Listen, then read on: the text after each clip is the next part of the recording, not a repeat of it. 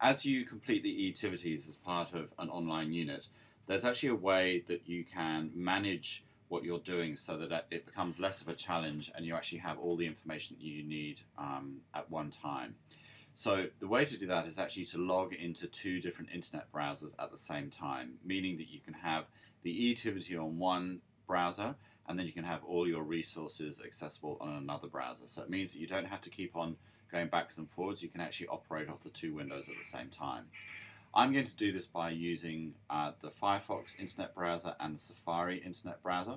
So this one here is Firefox and this one here is Safari because I'm a Mac user. If you're a Windows user, you're probably going to be using Internet Explorer and something like Chrome. If you don't have a second browser on your computer at the moment, you can download them um, for free. Um, I would recommend that you download Firefox. So Firefox is all one word um, and just follow the, the links that are on their, their homepage.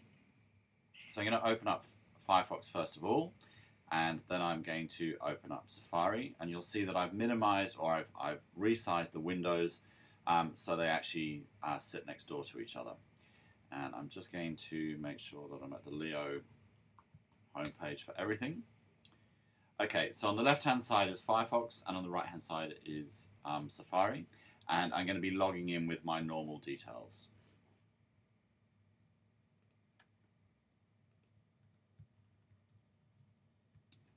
Now, this is the way that, that I do it, so two different, two different browsers logging at the same time, and it means that I can access the same information um, at the same time, which just makes life a little bit easier.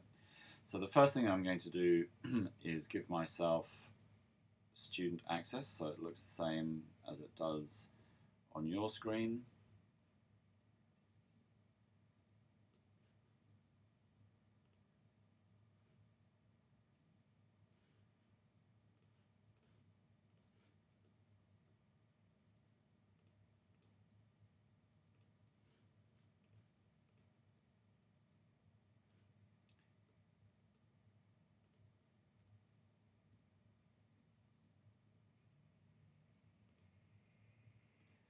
Okay, so I'm now looking at LEO at the same time on two different screens um, through a student view, so it should look similar to um, what you can see.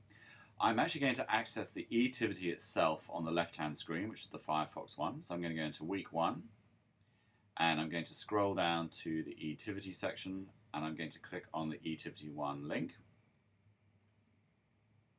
And then on the right-hand side, I'm going to go to week one, and I'm going to keep that window open. So I'm going to keep the module um, window open and that's showing me um, some of the resources that I need. As I go through, um, as we go through the semester, those resources um, will become um, maybe a little bit more uh, complex than they are this week and there certainly will be a lot of them. So as I go into um, the activity, it's going to ask me a couple of questions and I want to make sure that making my life easier, I've actually got that resource on the right hand side.